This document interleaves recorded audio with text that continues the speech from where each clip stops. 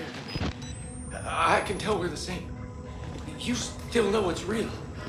The, doctor's dead. You know that, right? Dr. Wernicke died before he even started working here. What kind of experiments does a dead doctor perform on living patients? That's the question.